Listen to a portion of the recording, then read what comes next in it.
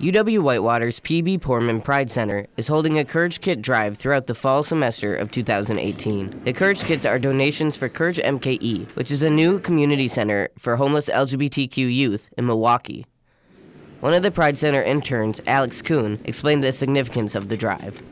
So it's really important because a lot of LGBT youth and LGBTQ people in general get kicked out of their homes due to their sexuality.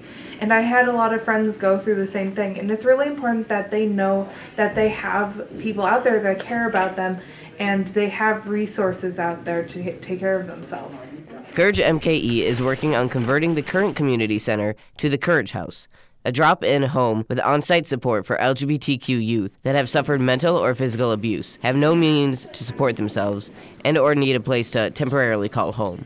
Currently, due to legal reasons, Courage MKE cannot host homeless people overnight due to shelter regulations. UW Whitewater's LGBTQ coordinator, Stephanie Selvik, has more information. So, Courage MKE uh, started as a nonprofit that reached out to and supported uh, homeless LGBTQ youth in Milwaukee. Um, they estimate that there's as many as 500 homeless uh, youth in Milwaukee, of which about 40% are LGBTQ identified, most of whom are kicked out of their homes because their parents don't support their identities.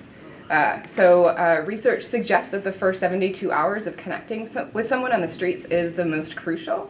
And after 72 hours, um, we will take extreme measures to survive.